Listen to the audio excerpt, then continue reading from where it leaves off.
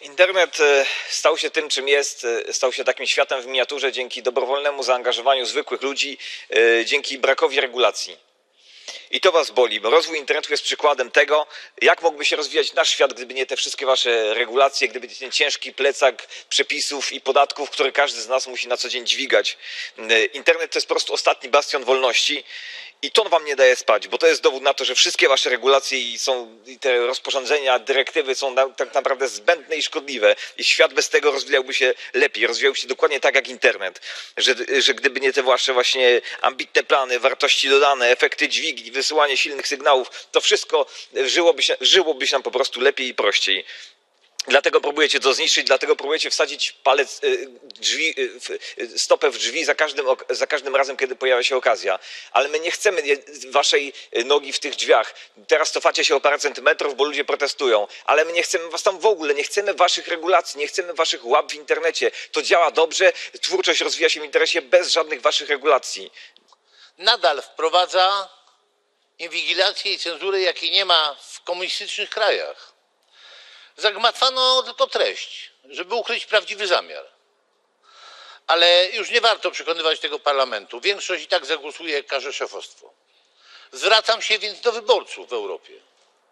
Obywatele Europy, jeśli nie chcecie utracić reszty swojej wolności, zmuście rządy swoich krajów do wyjścia z Unii Europejskiej.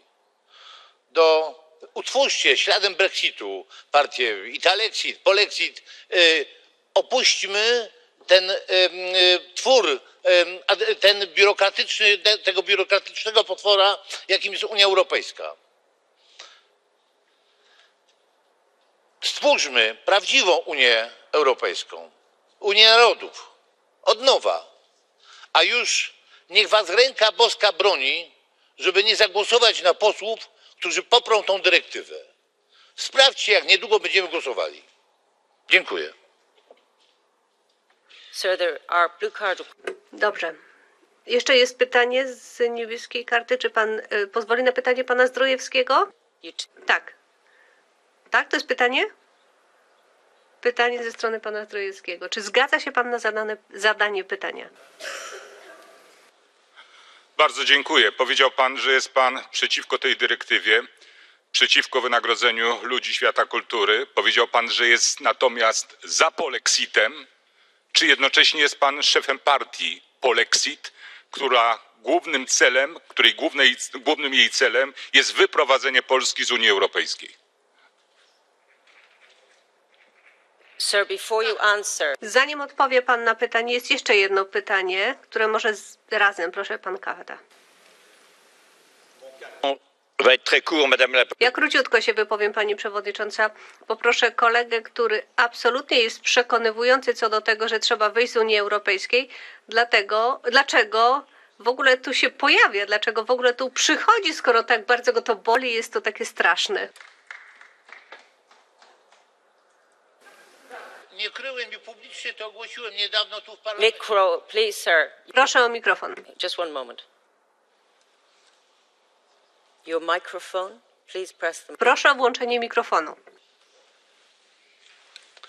Tak, ja tutaj publicznie w tym parlamencie jakiś miesiąc temu ogłosiłem, może trochę dłużej niż miesiąc temu, że jestem za wyjściem Polski z Unii Europejskiej jestem za wyjściem innych też krajów z Unii Europejskiej i stworzenie nowej Unii Europejskiej. Nie takiego potwornego, biurokratycznego, zapatrzonego i pysznego potwora, jakim jest w tej chwili Unia Europejska. Ogłosiłem to i nie za bardzo rozumiem pytania. Ja tu publicznie głoszę, tak. Jestem i w Polsce robię wszystko, żeby tak się stało. A tutaj w tym parlamencie do tej pory mówiłem tak no, jeżeli parlament się nie zmieni, jeżeli Unia Europejska się nie zmieni, to trzeba wyjść.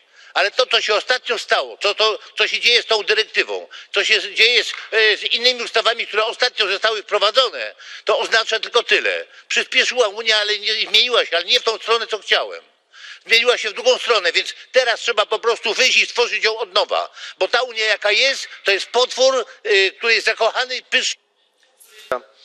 Dyrektywa o prawach autorskich na rynku cyfrowym jest potrzebna. Wszyscy sobie zdajemy z tego sprawę. Rozwiązania wypracowane la, lata temu, w czasach, kiedy przyjmowane były dyrektywy InfoSoc and e-commerce, zdezaktualizowały się. Hamują innowacje, wprowadzają niepewności prawne do działalności, a w niektórych przypadkach niebezpiecznie zniekształcają relacje na rynku. Wydawałoby się więc, że sprawa jest jasna, jednakże tak nie jest. Ta dyrektywa stała się przedmiotem manipulacji i walki uprawianej przez gigantów korporacyjnych. Wielcy gracze po obu stronach barykady, podkreślam po obu, zarówno jeżeli chodzi o giganty internetowe, jak i koncerny prasowe, na przestrzeni ostatnich dwóch lat nie szczędzili ani środków finansowych na czarny PR, ani na pomysł, pomysłów na coraz większe manipulacje. Niestety niektórzy tym manipulacjom ulegają. Najbardziej bulwersujące jest to, że tym samym uczynili swoimi zakładnikami podmioty, które są także adresatami tej dyrektywy. Chodzi mi o naukowców, edukatorów, muzealników, scenarzystów, którzy czekają na rozwiązania tej dyrektywy, o których interesy dziś się nikt nie upomina. Wydaje mi się jednak, że osiągnęliśmy punkt krytyczny i ten parlament nie jest w stanie podjąć racjonalnej decyzji w tej kwestii i powinniśmy zająć się tym w, następnym, w następnej kadencji. Dziękuję bardzo. Przewodnicząca, bardzo dziękuję. Świadkami sporu o to, co jest w tej dyrektywie. To jest właśnie kwintesencja tego, o co chodzi, bo największy problem z tą dyrektywą, szanowni państwo, polega na tym, że jej interpretacja będzie ważniejsza niż sama treść którą pan poseł Fostak nieprzekonująco tutaj zachwala. Tu właśnie kryje się największe zagrożenie. W niejasnych terminach, niejasnych definicjach. Wprowadzenie praw pokrewnych dla wydawców prasowych będzie oznaczać poważne ograniczenie debaty publicznej. Na rynku zostaną tylko najwięksi wydawcy, którzy już dzisiaj mają ogromny wpływ na kształtowanie opinii publicznej. To oni podzielą się zyskami z podatku od linków i stworzą monopol informacyjny, którego nie będą mogły już przełamać mniejsze portale czy blogerzy. Dlatego apeluję o odrzucenie tej dyrektywy. Dziękuję bardzo.